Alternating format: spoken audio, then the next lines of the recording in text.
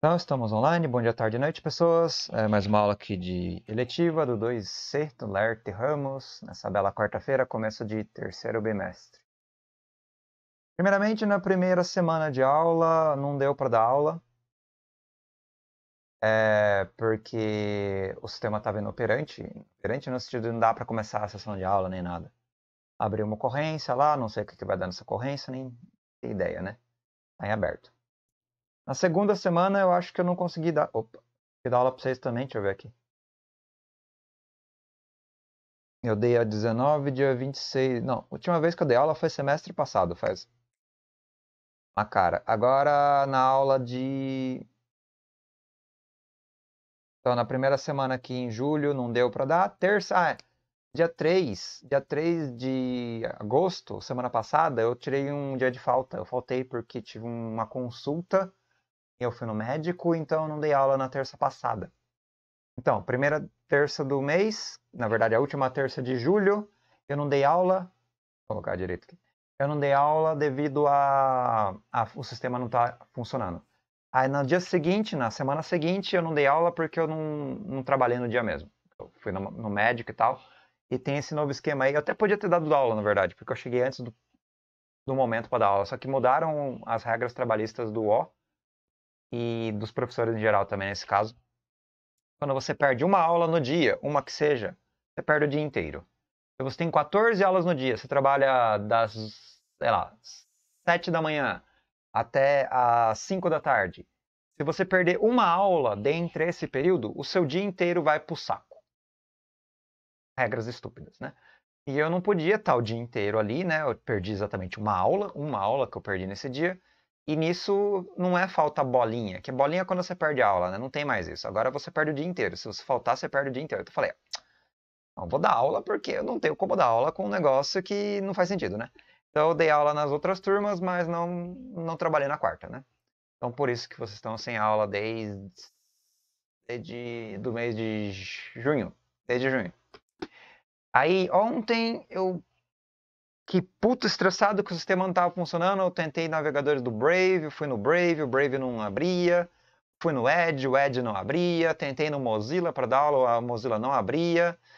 Tentei o Chrome, o Chrome não estava funcionando. Aliás, o Chrome ele tem uma dificuldade de fazer pegar no tranco. Mas agora foi. Estou no Chrome e o Chrome está ok, por enquanto, né? Então, Chrome online, aula online. Estamos aqui na aula do dia 10 do 8, tudo ok. Só que tem um detalhe. Ontem eu não dei aula. Ontem eu não consegui dar e na semana, primeira semana de aula também não sei, não consegui dar. Eu não sei se tenho que repor aquela aula da primeira semana. Porque aquela primeira semana era mês passado, mês passado meu salário já caiu. E não deu falta. Então essa semana aqui, dia 25, na verdade do dia 26 ao dia 29, sendo que do dia 25 eu não tinha aula, era férias ainda, né? O último dia de férias foi dia 25, a aula começou dia 26. Então vocês teriam que ter tido aula dia 27 de, de julho, julho. Só que vocês não tiveram. Essa aula vocês não tiveram devido a problemas no sistema. E eu não quero repor essa aula porque não quero. e já fui pago nesse mês e tal. Né? Não sei se eles vão descontar no mês que vem por motivos. Né? Só que eles forem descontar, eles vão descontar, vão descontar só aqui. Eles vão descontar a aula, eles vão dar falta dia, eles vão me exonerar. Praticamente sou exonerado por causa disso. Então tem esse detalhe.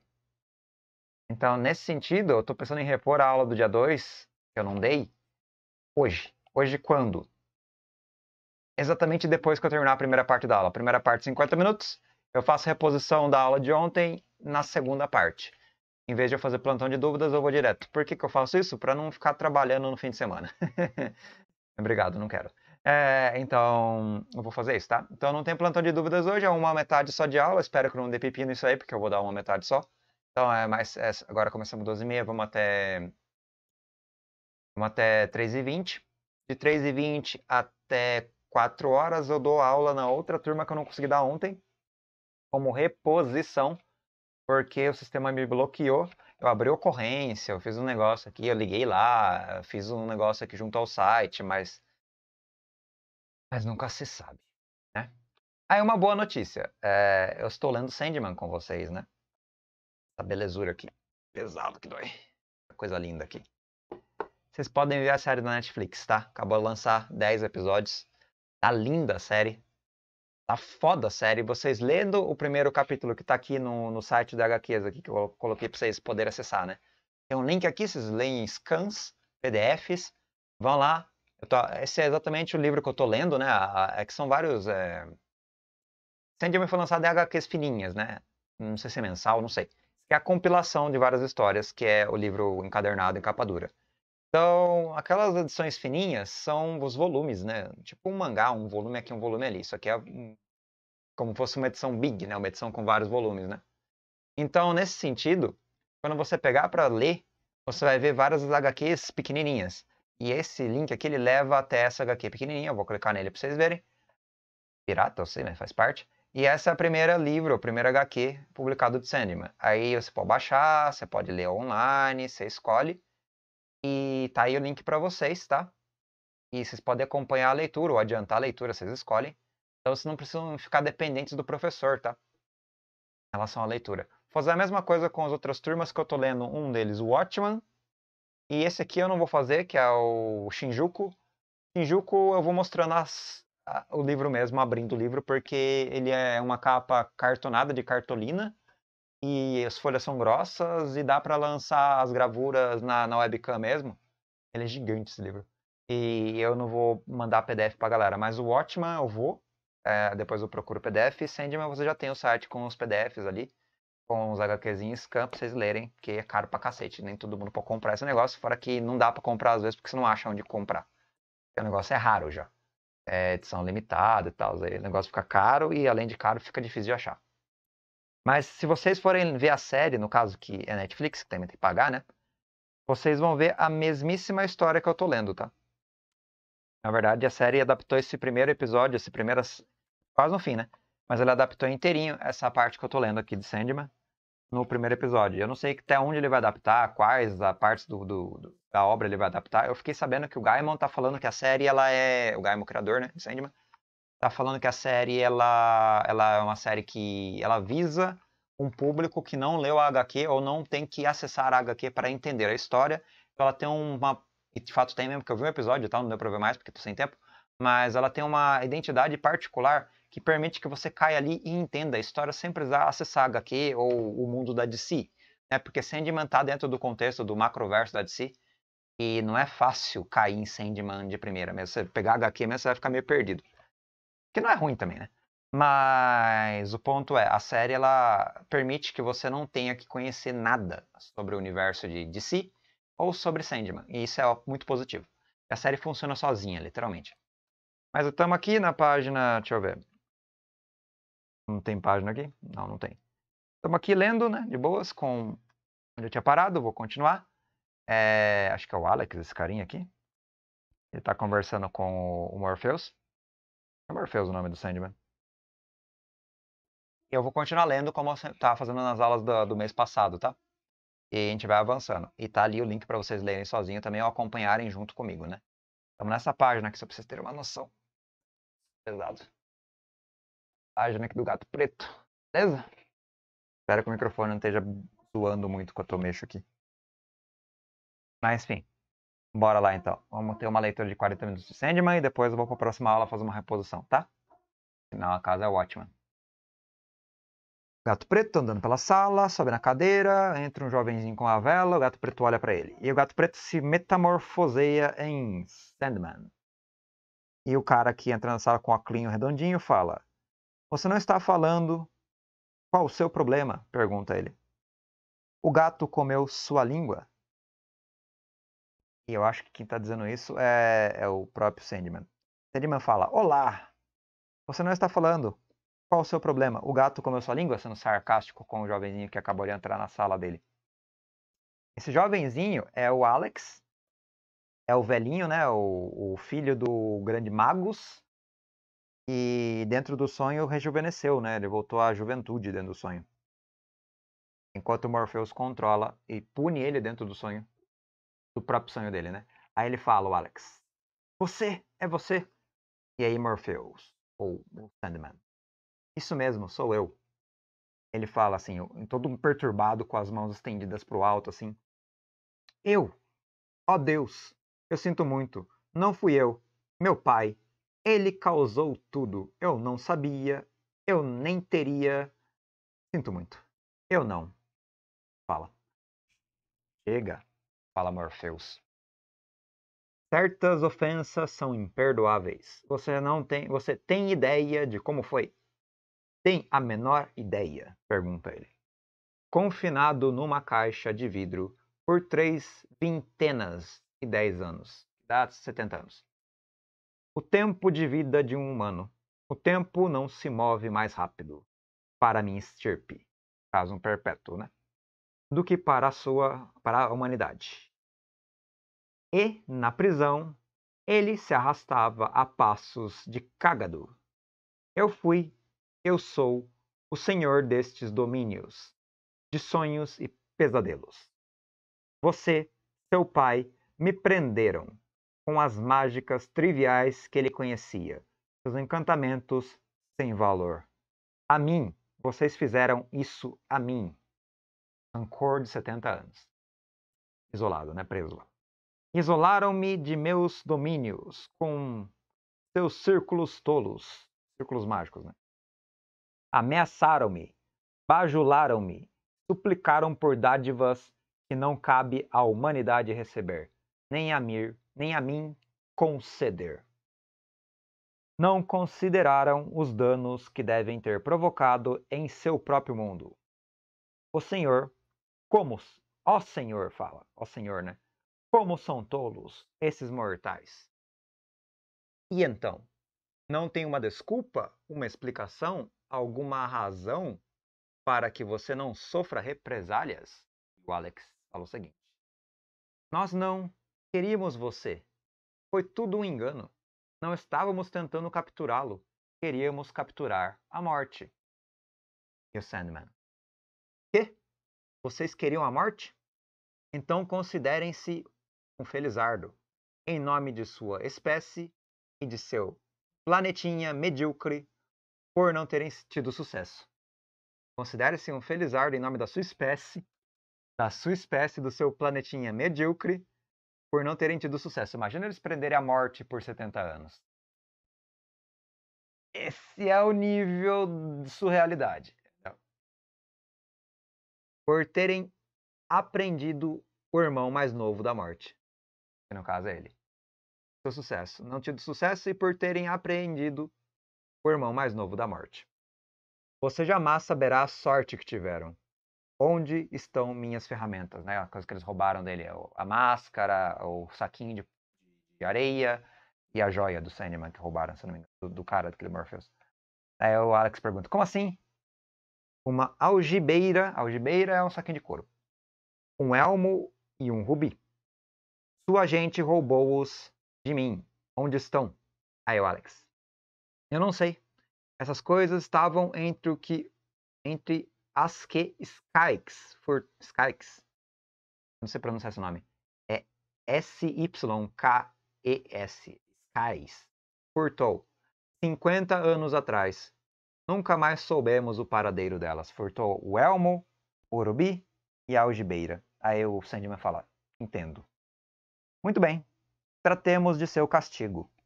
Então, eu lhe concederei uma dádiva, para compensá-lo por seus anos de hospitalidade. Eu lhe dou isto, o eterno despertar. Gira a página. Eterno despertar. E ele acorda. Não! grita ele, o Alex, enquanto olha para um. Aí um cara que tá do lado da cabeceira da cama dele fala: Tá tudo bem? Pergunta. Está? Eu? Ó, oh, desculpa. Devo ter tido um pesadelo. Sonhei que nosso prisioneiro tinha escapado. Estava numa torre.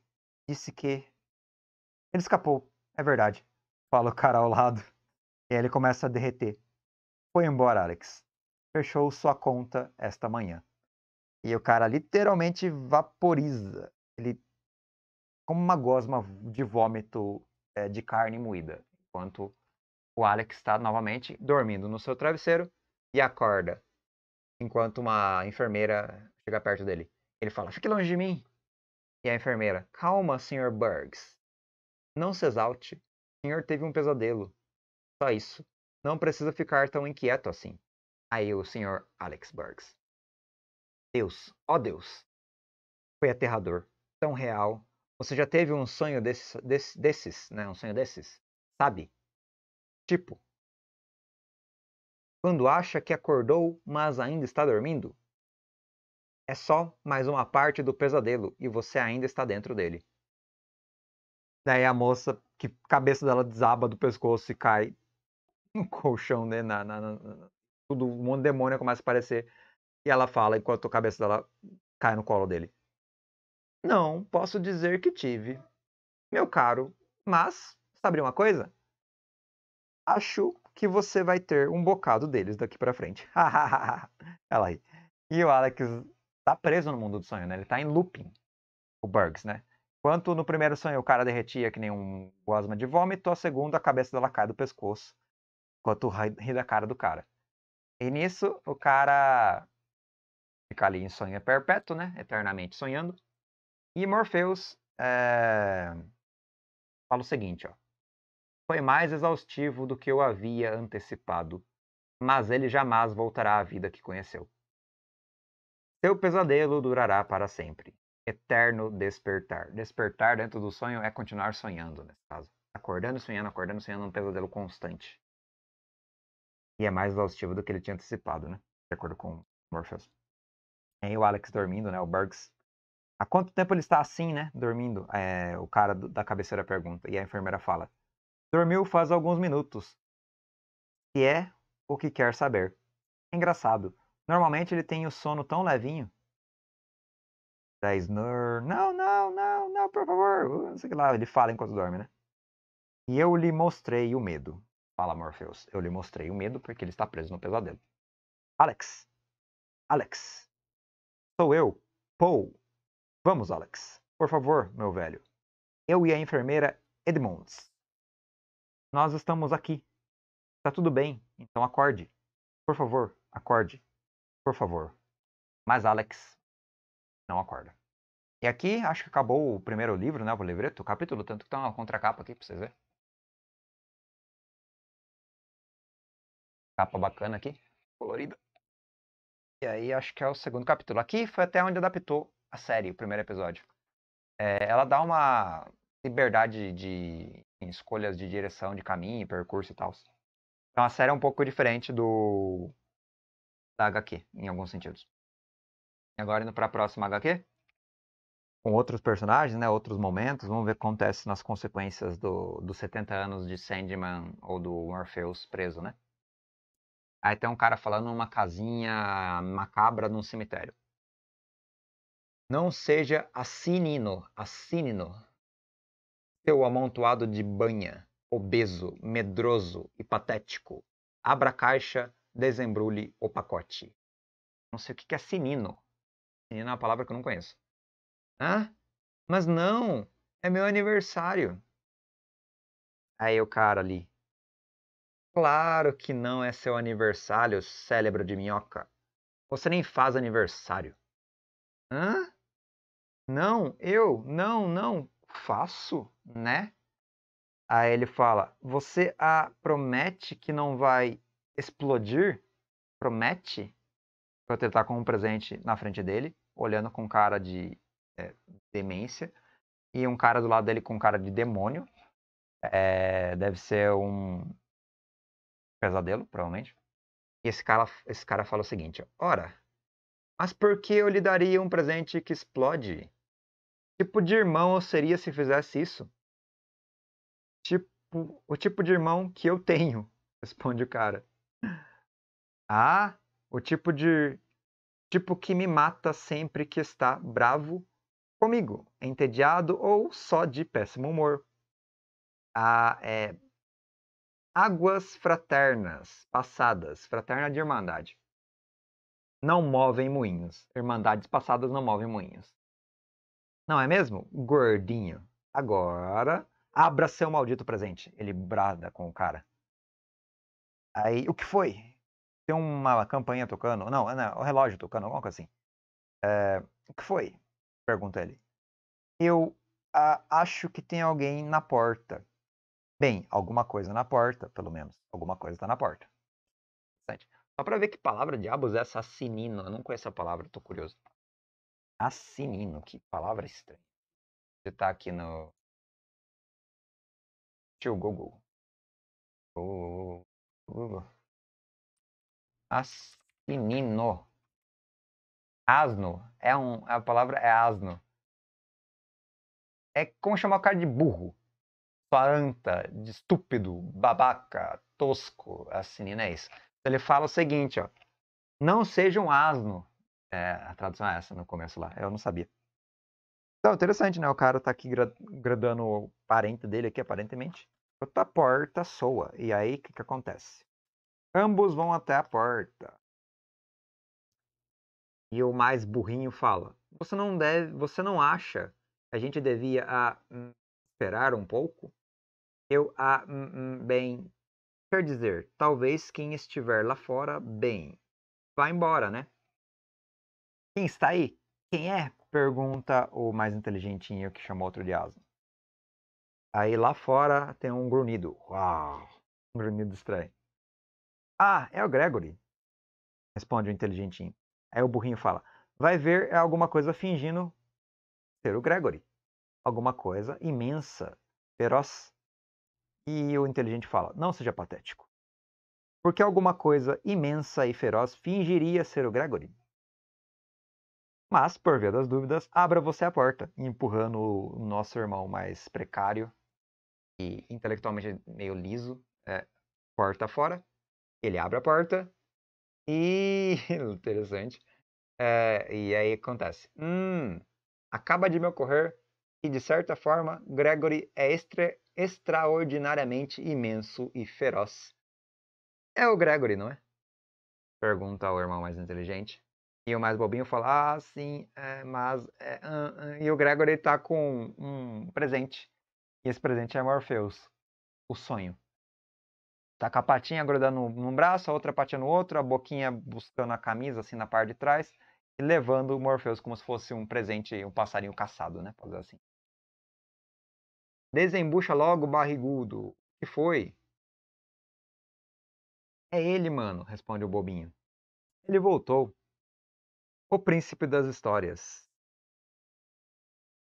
Me ajudem, por favor, fala Morpheus, enquanto capota e é abandonado no chão. Cara, pelo Gregory. E Grun, né? Grun. Anfitriões Imperfeitos é o nome do, do, do, capítulo. Anfitriões Imperfeitos. É do New Gaiman, babá, roteiro, letra, tradução, babá. Então, o, o sonho tá no chão, despencado ali, capotado, pedindo ajuda. Página seguinte. Ele tá fraco, né? O sonho fala, Morpheus fala: Eu desperto nas trevas, fraco demais até mesmo para invocar uma luz. O ar é mofado, exausto, envelhecido, pede a sonhos perdidos e tecidos putrefatos. Onde estou?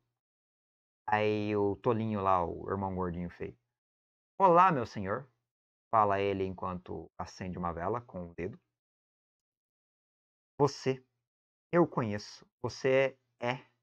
A, a ele se apresenta. Eu sou Abel, meu senhor. Da primeira história. A vítima. Abel? Que primeira história? Dos irmãos da Bíblia? É dos irmãos da Bíblia. Abel e Caim, né? Acho que é isso. Aí Sandman fala: Sim, eu me lembro de você. Sinto muito, faz tempo demais. Onde estamos? pergunta. Aí o tolo gordinho lá fala: Esta é a casa dos mistérios de meu irmão. Gregory, hum, o Gárgula de Caim. O Gárgula é o Dragonete que trouxe os, o, o Morpheus aqui para a porta da casa deles. E é Caim e Abel mesmo. O Gárgula de Caim, hum, ele trouxe o Senhor para cá. Encontrou-o na zonas de alternância. Zonas de alternância, não sei o que é. Deve ser tipo um, uma umbra, um, um limbo, né? Aí o Sandman fala: Sim, eu estava a caminho do castelo. Aí o outro fala: Ah, eu, ah, é, ah, eu vou avisar Caim que o senhor acordou. Ele a preparou uma refeição para o senhor. Aí o sonho, lá o Sandman, o Sandman, sonho, o Morpheus fala o seguinte: narrando, né? Permaneço deitado, sentindo-me mais fraco do que em milênios, recordando. Talvez se o nome do, do, do Morpheus é. É Morpheus, né? Eu tô falando que é Morpheus, eu acho que era Morpheus, se não me engano, é. Pesado, peraí. Morpheus. É Morpheus, certeza. É o sonho é Morpheus. É que eu lembrava do nome dele, mas eu tava confundindo também com outros personagens da quadrinhos e tal, e mitologia, mas é Morpheus, né? Seria aqui. Tô errando, né? Então ele falou que tava cansado, recordando e tal. Foi um pesadelo escuro e tempestuoso, fala ele, narrando, né? Antes de eu, antes de meu encarceramento, antes de ser encarcerado, eu sabia que a jornada nada representaria para mim. Nem mesmo necessitaria, necessitaria viajar. Ele viajou para o mundo humano, né? Ele saiu do, do reino dele para o mundo humano. Mas, enfraquecido e exausto, cambaleei pelas fronteiras do tempo dos sonhos. O sonho que empreguei para vincular Bugs ao eterno despertar despendeu despendeu o que estava, o que restava de minhas forças. Tá, ele estava andando, né, vagando pelo, depois do encarceramento ou de, antes do meu encarceramento. Eu sabia que a jornada nada representaria para mim. É, bem, enfim, coisas passadas que não são contadas. Mas ele fala que está exausto, que cambaleou pela fronteira do tempo dos sonhos, porque ele usou aquele poder dele para aprisionar o Burgs, né? Isso exauriu ele. Então ele fala: O sonho que empreguei para vincular Burgs ao eterno despertar despendeu o que restava de minhas forças. Eu tinha de alcançar os portais do chifre e do marfim para chegar ao meu castelo, mas o caminho foi árduo, então a jornada dele foi desgastante, ele estava exausto depois de 70 anos aprisionados, né? E usando o poder dele para sacanear o Burgs, né? E eu estava fraco demais. Não sei quanto tempo permaneci lá. Aonde eu não sei. É, eu me lembro do vento em meu rosto, de contemplar a paisagem onírica sobre mim. E então eu me vi aqui. No caso, ele se viu na casa do Caim e do Abel. É um castelo, né? Ele tá visitando sem querer. Hum, fala alguém, né? Na verdade, o, o Abel. O Abel fala isso. Ou Caim, peraí. É o Abel, né?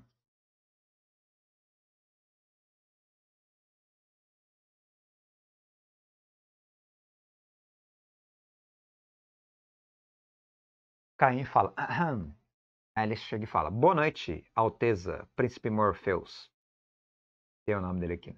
Eu lhe preparei uma refeição. Entra Caim, né? Vamos botar o senhor em pé muito em breve. Você é Caim, não é? pergunta Morpheus. O próprio, Excelência. Fornecedor de fábulas funestas, narrativas nefastas, terrores tétricos e pesadelos per periciclantes. Pericli periclitantes, periclitantes, foi mal. Pesadelos periclitantes, que é pumpilantes, saltitantes, algo do gênero, né? Ó, oh, fui. As coisas andaram estranhas desde que o senhor partiu. Ou fui, né? Ou fui senhor dessas coisas. Ele é tipo um súdito do Morpheus com uma função particular no mundo dos sonhos, né? Mas ele fala que as coisas andaram estranhas desde que o senhor partiu. Daí o, o, Aí lá, gravação. Então, pessoas, sistemas, né? Sistemas, sistemas caem, caem mesmo. Vamos voltar lá. É do YouTube aqui, tá vendo que caiu. Vamos. Pegou a câmera, pegou. Voltei. Caiu aqui, pessoas. Tem mais 20 minutos de leitura, mas eu tive uma queda aqui. O sistema me derrubou. Mas continuando então. Diga-me, Caim, você possui alguma coisa minha? Algo que eu criei? Aí o Caim pensa e pergunta: Alguma coisa sua? Creio que não, não. Tem sim, hum, nós dois temos. Nossas cartas de hum, comissão, lembra? Elas, a, elas têm a assinatura dele. Foi Morfe Morpheus quem fez as cartas. Seu rompe-botões, seu vil, encherido, intrometido, bisbilhoteiro, desastrado. Fala Caim. Aí o Morpheus. Tragam-me essas cartas, tragam-me qualquer coisa minha. Aí o Abel vai lá e busca mesmo. Ah, eu tenho a, a minha comigo, Alteza. E Caim também tem a dele. É, então ele entregou a carta para Morpheus, né? Pronto, tome. Pega aí. Aí Morpheus, eu liberto alguma coisa que criei antes da aurora dos tempos. Reabsorvo aquele fragmento de mim e depositei no papel. Agora, Caim, sua vez. Entrega a carta, né, filho? Hum, meu senhor, ah, se não for uma pergunta tola, ah, o que meu irmão descelebrado peca tão espetacularmente em expressar é o seguinte: onde esteve esse tempo todo, Excelência? Que andou fazendo? Com 70 anos, né? Fora do reino dele. Onde estive? Fala Morpheus. Esses dois personagens, Caim e Abel, eles devem ser personagens da DC, da franquia. E na série, particularmente, eles não foram apresentados. Não estão. Então deve ser uma coisa própria só da HQ. Então, para você ler, ler não, ver a série, você vai ver uma versão de Sandman. Se você ler HQ, você vê outra versão. Então temos duas versões diversas aqui, ó, alternativas, tá? Então, aqui o, a pergunta do Caim para o Sandman, onde eu estive? Ele fala, ele, ele truca, onde estive para si mesmo, né? Estive aprisionado, responde ele. Asilo Arkham para criminosos insanos. Quem não consegue, quem não conhece o Asilo Arkham, lembra de Batman? Lembra do Coringa? Então, Sandman dialoga com todo o universo da DC. E é por isso que ele estava falando, né? Aí desse asilo aqui tem um personagem que é o seguinte, ó. Ele fala assim, ó. Já numa página seguinte, num outro tipo de, de contexto, né? Uma, velha, uma velhinha falando, ó. Para um, um guarda ou para um psicólogo. Meu jovem, por favor, não prevarique. Eu desejo ver meu filho e quero vê-lo agora. Por favor, entenda, senhora. A Dr. Ethel. D. Ethel. D. Fala ela. D. Ethel. D. Claro, isso é contra as regras, senhora. Senhora D. O Arkham não permite visitas. E ela fala: Um rapazola tolo. Eu procuro há cerca de uma década. É, este é o meu filho, John Dee. Acredito que ele esteja aprisionado sob a alcunha de Doutor Destino. Então, acabou de apresentar um personagem extremamente importante para Sandman e para o universo desse como um todo, Doutor Destino, que é filho dessa senhora que por acaso é que roubou a joia, a, o saquinho de areia e a máscara do, do sonho. Ela que roubou, né? Ela é aquela moça lá que roubou há décadas que o Alex tinha falado que é, roubou do pai dele e tal, né? Então, o filho dela, aprisionado aqui, John Dee, acredito que ele esteja aprisionado sob a alcunha de Dr. Destino. Um rapazola tolo. Eu procuro há cerca de uma década. Nós temos um paciente com esse nome, senhor, senhora Dee. Senhorita Dee. Senhora, senhora Dee. Mas isso é estritamente proibido. Infelizmente... E ela continua. Moço, tenho 90 anos de idade. Não vejo meu filho há 10 anos e viajei 13 mil quilômetros para encontrá-lo hoje. Eu o verei. Os meus advogados saberão o que fazer. Ela já está chantageando, impressionando o cara, né? E o cara cedeu. Cuidado com os degraus, eles podem ser escorregadios enquanto eles descem uma masmorra, uma coisa assim, um calabouço e tal. E ela fala: Estou pasma com o fato de que o senhor com o fato de o senhor não levar John para me ver lá em cima, senhor Hunton. O Doctor. É doutor. Dr. Hunton. Não. Não podemos correr o risco de soltá-lo, ele é perigoso, demais. Não dorme mais nem sonha, na acepção normal desses termos. É física e fisicamente está debilitado. Então, é um risco, né? Soltá-lo lá, tal, é perigoso demais. E não dorme, não sonha, e não entende mais esses termos, fisicamente está debilitado. Ela olha assim para a cela onde está John Dee, o Dr. Destino. Pergunta: John, é você? John. Aí, mamãe, fala, né? E ele vai para a grade da, da, da cela. Eu tenho sonhado, eu teria sonhado com a senhora se eu pudesse sonhar. Faz tanto tempo que vocês fizeram com ele? O que vocês fizeram? Pergunta a senhora Di. Mamãe, a senhora parece tão velha. As coisas andam muito estranhas hoje em dia. Ele bota a cara na grade, totalmente deformado e ensandecido. Mamãe, tomaram meus sonhos de mim. Senhora D, infelizmente ele está ficando exaltado demais. Devemos ir embora. Senhora D, diga adeus.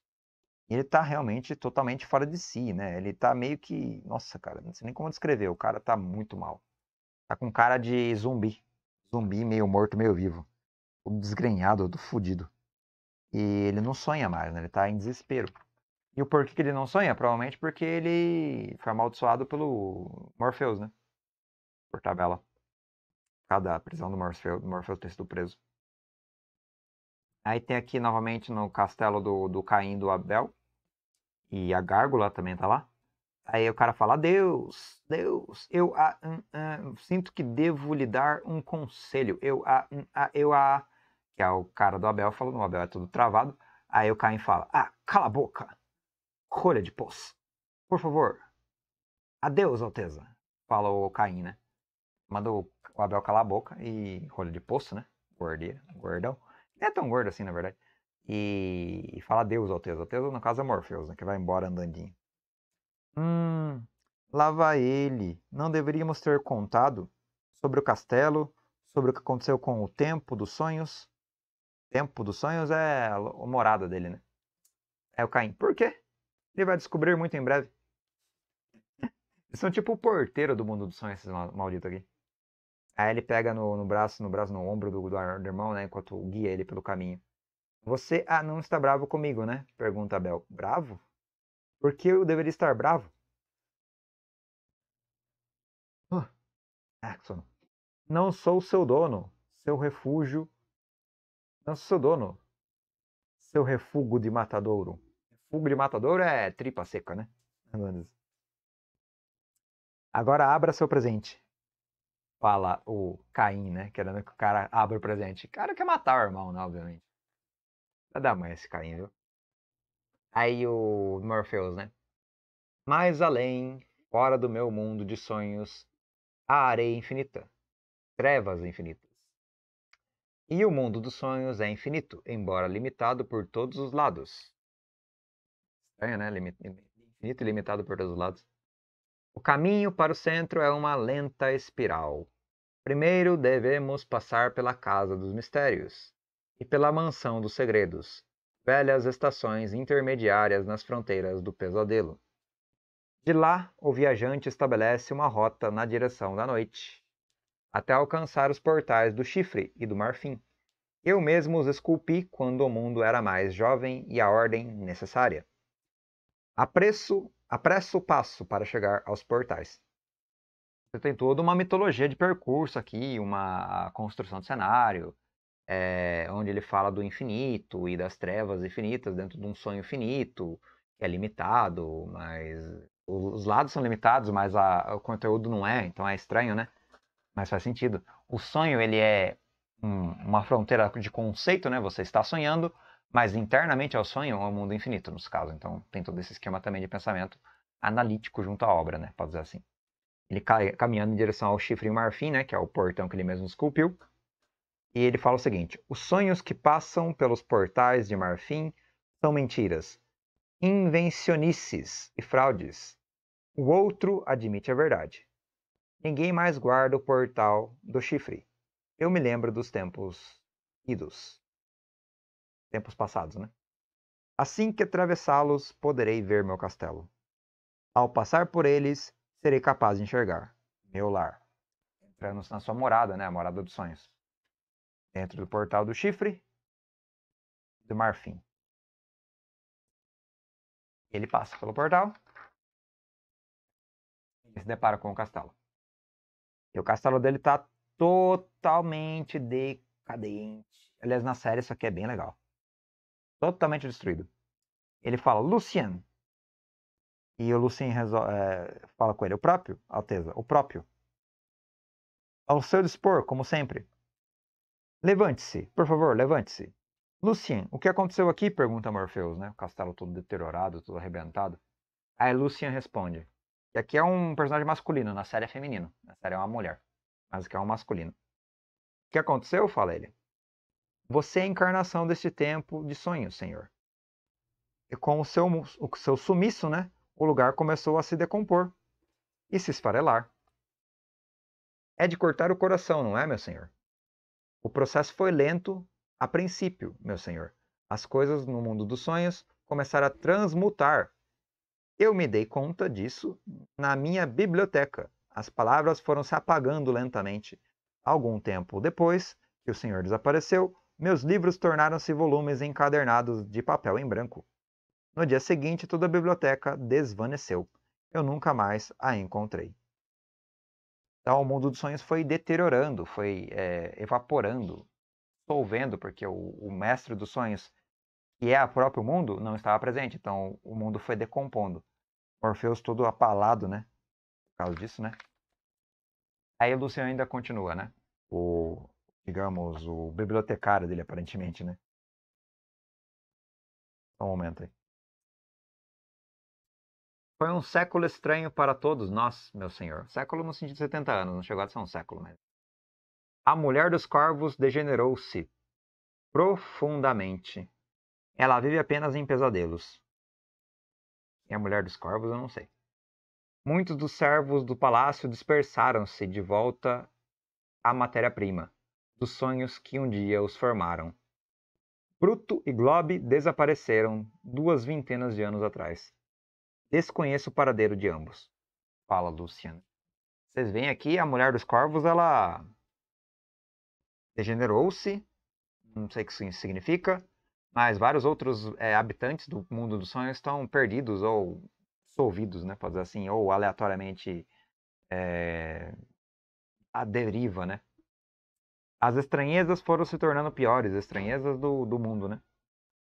Aí ele... Aí o volta lá para o senhor do Abel, né? O Abel fala: Ah, um ovo. E é o Caim. Alguma coisa errada. Está ficando cada vez mais estranho. Eu tentei não fazer isso com você. Aí o Caim.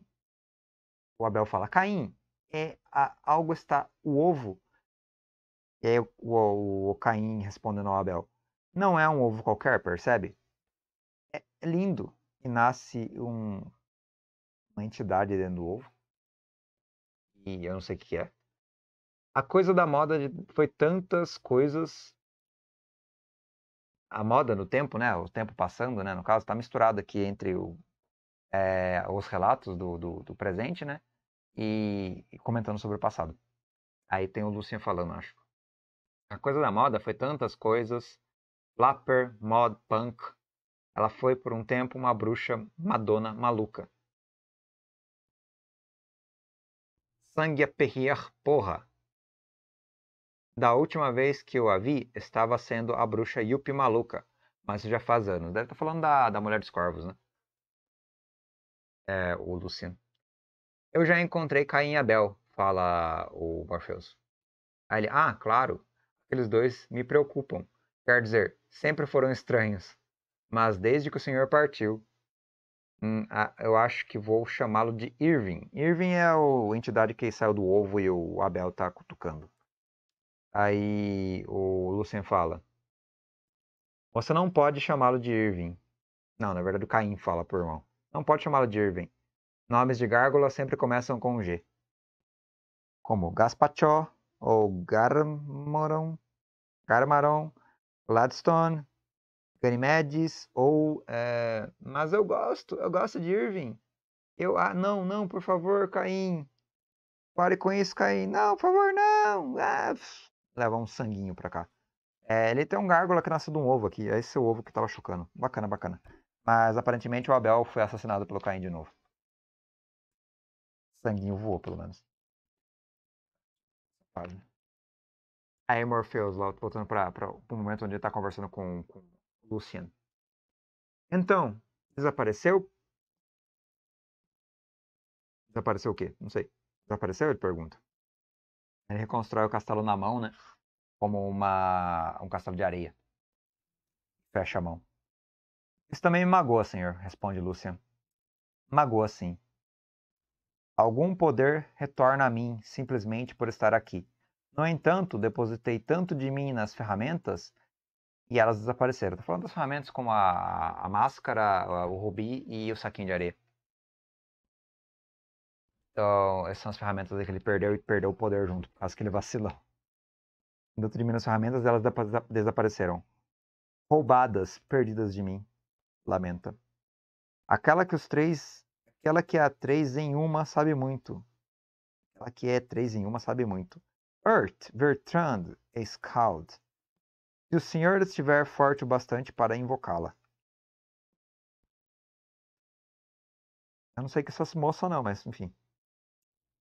Earth, Bertrand, Scald. Aí o Morpheus fala. Sim, sim, eu a chamarei. Deixe-me a sós, Lucian, fala ele. Aí Morpheus olhando para o pôr do sol. O mundo dos sonhos, o tempo dos sonhos, o inconsciente. Chame-o como quiser. É tão parte de mim quanto eu sou parte dele. E pela primeira vez, desde minha volta, pela primeira vez em 70 anos, eu alcancei minha substância. E moldei o mundo. Alcançar a substância e voltar para casa, no caso, né? É importante lembrar da, da, da, da, série, nesse caso, porque a série ela não retrata a fraqueza do, do Morpheus. Retrata a decadência do reino dele, mas não a fraqueza. Pelo menos até onde eu vi. Aí ele fala, o Morpheus, as encruzilhadas vêm de um fazendeiro cambodiano de seus sonhos com um novo carro de bois. Ah, vem de um fazendeiro cambodiano de seus sonhos com um novo carro de bois. A força vem de uma jovem japonesa fã de cinema, sua cabeça em um turbilhão pelo excesso de filmes de terror do estúdio Hammer. O mel, as cobras, a lua, quarto crescente, tudo isso é fácil de arranjar. Uma ovelha negra e um tanto mais difícil, mas uma das espécies dança nos sonhos de uma criança em Adelaide, Austrália eu a tomo para enriquecer o cenário. Ainda assim, a cena está incompleta. Cloto, Lachesis e Atropos viram, viriam por menos do que isso, mas eu preciso de um obsequio. E além do mais, as três são instáveis. instáveis. Aí está. Tediosamente os sinos da igreja ressoam e clangoram Agora é vibram, né? Nas trevas, solitária, doze vezes. Aí está, é meia-noite. Ding dong, dong. e pessoas, acabando o tempo da aula, tá? É, narrativas, narrativas. O contexto do Sandman, do Morpheus, pós-decadência, né? A hora da bruxaria. E elas vêm. Aquela que é três e nós que somos elas. A Ekalat. Ekat. Ekat. Três bruxas, no caso. Ah, a bruxa do mundo dos sonhos que ele tá trocando ideia. Ekat. Uma loira, uma nariguda e uma gorducha. A gorducha e a nariguda são velhas e a loira é novinha. Tem um... Ba, um nome. Quando a pessoa cozinha, como é que é o nome? Da, caldeirão. Caldeirão da bruxa aqui na frente das três. E o Morpheus fala: Sejam bem-vindas, minhas senhoras. E a mais gordinha fala: Você parece tão magro, meu querido. Acabou. Cara, nem percebi que tá acabando. Bicho burro. Então vou. Entra, fio. Travando eu. Viajando. Então, pessoas, eu vou colocar aqui desdobramento de aula e debate, mas eu não vou fazer o vídeo. Tá? Eu vou dar a reposição da outra aula agora. Vou cortar a gravação e abrir de novo dando a reposição, beleza? Vou ir para outro livro também. Paramos aqui em Sandman, deixa eu marcar a página. Estamos nas bruxas, na Hecate. Hecate. O nome deve ser Hecate, com acento. E agora vamos para outro HQ trocar para cá, vou fazer a reposição lá. E gravar a tela também, né, que é a reposição. Mais suave. É, valeu, pessoas. Até mais aí. Até a próxima com Sandman. Grato pela presença. Até mais aí.